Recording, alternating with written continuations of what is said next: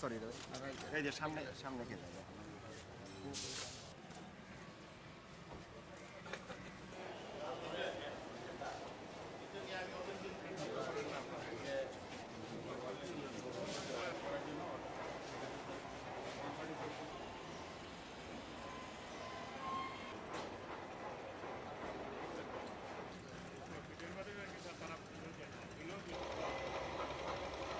আমরা আগে প্রায় একচল্লিশটি একচল্লিশটি আপনার এনজিওকে আপনার লিস্টেড করে ওদের উল্টো করে ফেলেছি।